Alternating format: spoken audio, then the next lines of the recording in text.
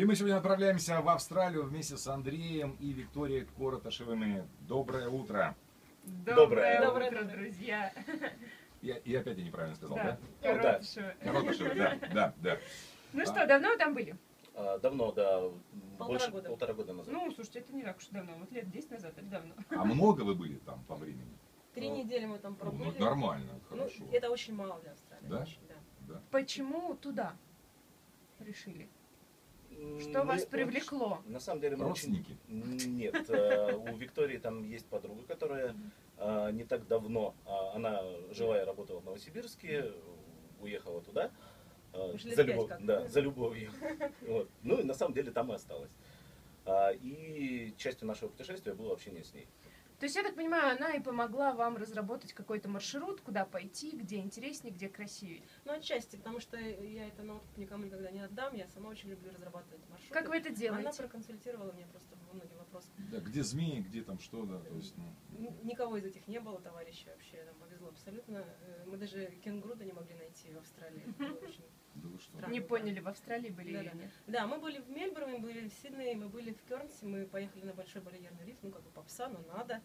Вот. э, Многие австралийцы даже не понимали, куда мы едем после Сиднея. Кернс, что это? Мы говорим, Большой барьерный риф. А, ну понятно. В общем, они сами по-моему, с собой не ездят. Вот. Но страна очень поразила, континент очень поразил, потому что он огромный, он кажется на карте маленький, ну, 4 часа полета между точками там, вот, э, соседними буквально. Ну, теперь вы такой знак зна- э, понимаете, да? Ну, Ну, потому что там все серферы, они вот так. Слушатели не понимают, что ты... Ну, я показываю, как бы мизинец оттопырил и Да, большой да. палец. Так при, эти, приветствуют э, друг друга серферы. Да? Да. Вот, это Да. у них такой фирменный знак. А там все серферы, насколько мне В известно. Кернсе, да, там все серферы, ну и те, кто приезжает, в общем, посмотреть э, на большой ба- барь- барьерный риф, ну, в общем, нас он впечатлил. самом деле. Но вы сами попробовали, покатались на доске? Нет, мы на доске не катались в Австралии, мы боялись акул. А, там же еще акулы. Да, да, да. А вот да. Змеи, акулы, Вот слушайте, их вы видели, да? Нет, мы не Нет. видели акул, мы спросили местных, которые говорили, что у нас кенгуру очень много, но акул мы видели пару раз в виде стейка. Вот. После того, как мы искали э, кенгуру, их не нашли, мы поняли, что с акулами нам встретиться была вообще, в принципе, не судьба. Вот, поэтому, ну, мы в любом случае не лезем, потому что океан холодный достаточно. Он не располагает к купанию. Давайте как-то структурируем ваш Давайте. рассказ, откуда и докуда продлилось путешествие, что было первыми точками, что самыми интересными, которые вы считаете нужно абсолютно точно, бесповоротно посетить. Ну, абсолютно точно Мельбурн и Сидней это были прям очень сильные красивые города. Что там было такого самого? вау? Они космополитичные, они динамичные, они не похожи ни на европейские города, а может быть больше даже ну, на азиатские, но тоже нет. Они какие-то очень своеобразные. А, очень большое смешение народов, культур, э, кухонь разных. То есть вот это все в, одном массиве, это прям очень сильно восхищает и очень а, удивляет, что ли. А, После Мельбурна мы поехали вдоль большой океанской дороги Great Ocean Road в в Аделаиду. И тоже это природа, это кенгуру, которых мы искали. Очень красиво, вот эти вот 12 апостолов Там они скалы, ди- которые- дикие пасутся там? Нет, Ну, в том-то и дело, да, что... Нам сказали, что они будут пастись дикие, что вы и что, встретите и что вы наверняка. встретите их наверняка и обязательно, но при этом как бы, мы, мы не видели. Мы едем по дороге, едем там час-два, я звоню подруге, где кенгуру? Мы не можем встретить кенгуру. Ну подожди, потом э, ты встретишь обязательно, потому что они, наверное, с утра, вечером они уходят отдыхать в тень. Утром я ищу кенгуру, я бегаю, я вдоль океана, нету кенгуру. Потом мы поехали на ферму, в общем, там потискали кенгуру.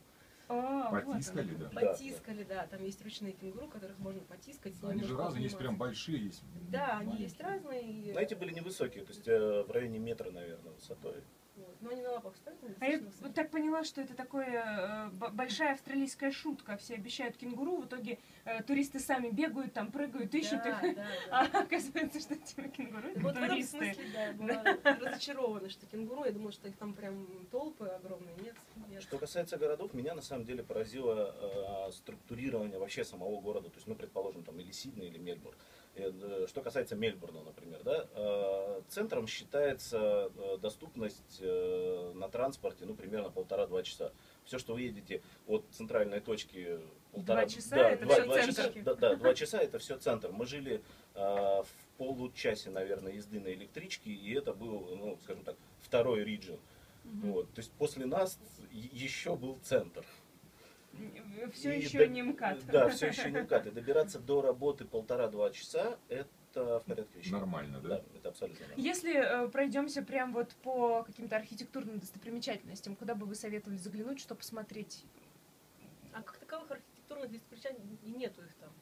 Нет, там Просто гулять по улочкам и... Да, то есть просто вот впитывать в себя эту культуру. Нет, и... ну, Сиднейская опера. Ст- э, Да, вот Сиднейская это опера, здание, да, конечно. Вам удалось здание- попасть внутрь? Нет, к сожалению. Нет, там можно зайти внутрь, по- погулять внутри, но ты в зал не попадешь, потому что там э, какие-то идут Мероприятия, мероприятия, да. Но в саму оперу ты можешь зайти, там по, по дней походить, там есть кафе, есть переходы какие-то, в общем, там все очень доступно. Опять же, рядом сфотаться. Да, да, Да, там мост здесь, этот да, рядом сиднейский, э, тоже по, по Причем это, это единственная достопримечательность, По которая... большому счету, да, которая тебя вытягивает, потому что это некое клише, да.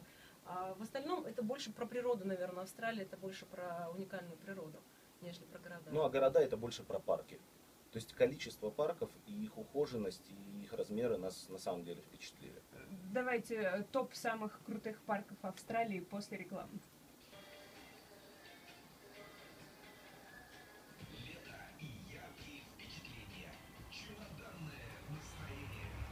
Андрей и Виктория Коротышевы э, э, проводят нам экскурсию по Австралии. Я хотел добавить, кстати, позитивчика. Мы как-то все про ЗМИ, про акул.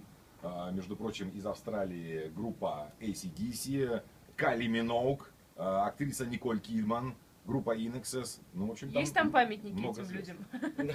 Мы не видели. Хорошо, что вы видели? Обещали до рекламы рассказать про парки и в чем их магия и э, отличия друг от друга. А, да, в Мельбурне э, два шикарных парка, ну, может быть их больше, но те, которые мы видели, Бо- большой королев- королевский ботанический сад. Там какие-то э, экзотические Да, растения. то есть, когда заходишь в этот парк, внутри э, разные зоны, и иногда ты попадаешь там в какой-то в тропики, где-то ты поп- попадаешь э, в пустыню. То есть очень красивое зонирование, красивый парк. То есть ощущение э, совершенно э, разных э, климатических зон. А Альберт парк это парк для отдыха, там вокруг озера сделаны велодорожки, сделаны э, такие штуки, грили под открытым небом, про, про Для пикников. расскажет. Да, для пикников. Вот. И есть недалеко от Мельбурна Филипп Айленд, это э, целый остров, где пингвины, то есть парк с пингвинами, парк с коалами, которые были спасены там из огня и все такое. Вот там Типа, день- типа зоопарка. Э, Ну, это трудно назвать зоопарком, он очень большой, и там можно провести там Заповедник. день, а может быть, да, да, да. Нет, ну на самом деле на Филипп Айленд и пингвины это те, которые выходят да, из воды. Да. Это, э, это дикие пингвины. Э, При наступлении Они сумерек прям там живут. они, Да, живут, да, э, э, они живут в воде, а гнезда у них на суше. Они птенцов оставляют в Оста- гнездах да, и птенцов утром оставляют. уходят в море. Э, охотиться. И э, когда наступают сумерки, э, это великолепное просто зрелище, когда из воды начинают выходить пингвины. Драматургия такая. Да, они, внач- они выходят. С рыбками в- они выходят, нет, Нет. они выходят, смотрят, потому что э, главными их врагами являются чайки. Потому что эти пингвины высотой максимум ну, 30 сантиметров, ну, 30-40 Они очень сантиметров. маленькие. Даже взрослые. Да, Да. да, да. Вот, и они начинают потихоньку выходить. Они выйдут, зайдут, выйдут, зайдут. Э, Через полчаса они начинают выходить все, и их тысячи. И они бегут на И пролом. они бегут между людьми на пролом. И каждый из них, э, каждая пара знает, где находится их гнездо. Они бегут И к своему И птенцу. они бегут, бегут к своему птенцу, чтобы его покормить, а потом с утра опять уйти. Вот. И создан такой парк, то есть можно посидеть, посмотреть, как это все происходит. Нельзя там фотографироваться вспышкой, и вообще трогать их нельзя. Но все равно это все, конечно, происходит очень бурно. Вот, но это прям здорово. Это прям их с- естественная среда Да, обитания, да, их да, туда да. никто не привозил нарочно. Нет, и- нет, нет, нет, нет. Это Обалдеть. очень сильно охраняется. То есть все деньги, которые они собирают вот э, в этом парке, идет на то, чтобы Ну, туда поддерживать- плот- платный вход. Да, платный Мгм. вход и поддерживают вот, э, популяцию пингвинов, чтобы сохранять их ареал. Как, как они поддерживают? Они э, в воду и рыбки запускают, чтобы им было чем питаться? они просто охраняют эту территорию от А, того, вот чтобы на что да, уходят город деньги. наступал на это все. И им даже не мешают люди, господи, так удивительно. Им мешают только коалы. Чайки, тебе чайки чайки, коалы это вообще отдельно. Коалы спят 24 часа в сутки, им никто не мешает. Они просыпаются и едят дальше. Какие-то еще места, о которых вам бы сильно хотелось рассказать? Или уже можно переходить к вкусняшкам? Как вкусняшка. Да, Давайте.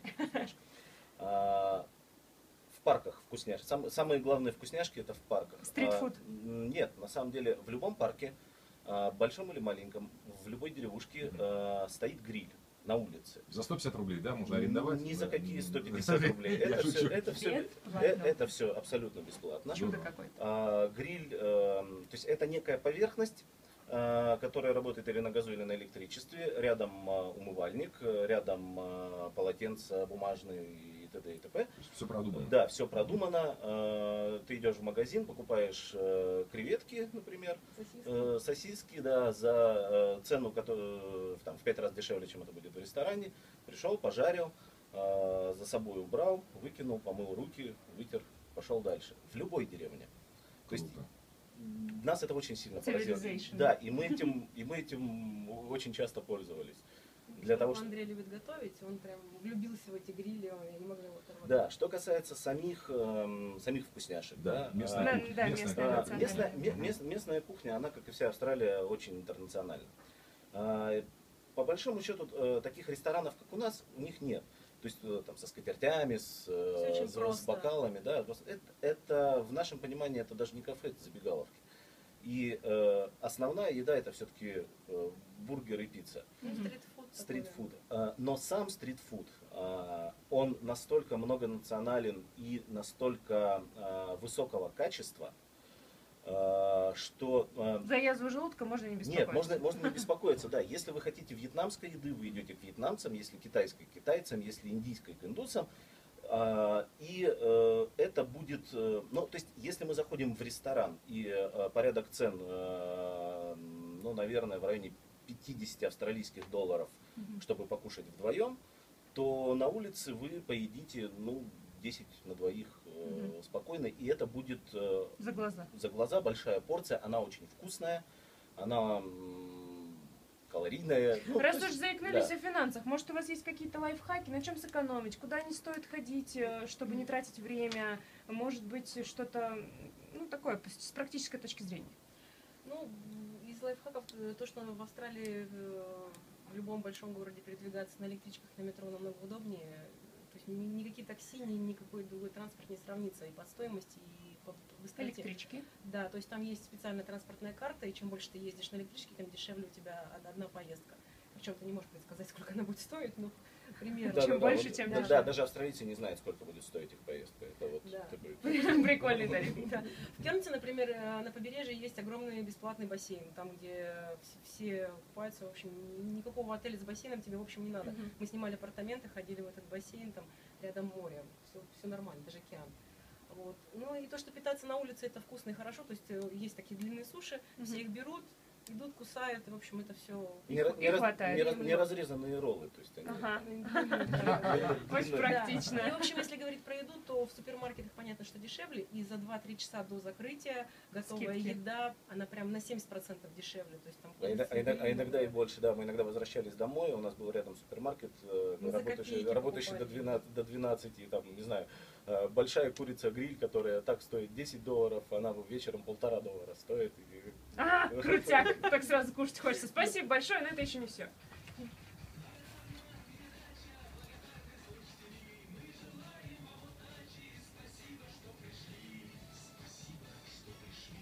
Полминуточки буквально остается. Давайте скорее нам веселую историю из жизни. Курьезный случай вы обещали. Ну да, мы себя считали всегда прокачанными путешественниками. Когда э, путешествовали по Голландии, э, у нас был переезд из Амстердама в Роттердам. В Роттердаме мы побыли, и после этого мы должны были взять машину и поехать в Бельгию. В общем, машина была забронирована, оплачена. Мы, как обычно, совершенно спокойно приходим. Это де- дело было в субботу. Они работают там до обеда, эти пункты проката, дальше закрываются. Ну, как ни в чем не бывало, э, приходим в пункт проката, нам говорят, в общем-то, без кредитной карты мы вам ничего не дадим. Мы объездили кучу стран, где дебетовые карты для аренды автомобиля вообще нормально принимались. У нас с собой не было ни одной кредитной. Да, ни одной кредитной карты, и все, они уперлись, сказали, нет, мы ничего не можем сделать. пошли пешком? Мы, типа, ладно, хорошо, пойдем в соседний. Мы обошли в Роттердаме порядка там шести пунктов проката, никто не мог нам дать машину, потому что все требовали кредитную карту. Мы понимаем, что как бы сейчас все закроется, и, в общем, мы останемся без машины в Роттердаме зачем-то. Без нас жилья, да. Жилье забронировано вообще в другой стране. Нам пришлось сесть на поезд и поехать обратно в Амстердам, взять там машину и оттуда поехать уже в Бельгию. Я думала, вы побежали в ближайший банк оформлять кредитную карту. Да, но банки к тому времени уже были закрыты. Ну, Проще было вернуться в другую страну. Хорошо, что хорошо кончается. Спасибо Андрей и большое. Виктория Короташевы у нас были в гостях. Еще раз спасибо. Кротышев. Да, да. Спасибо. Спасибо. Прикольно. Опять не так сказал, да? Ну ладно, чем Прикольно.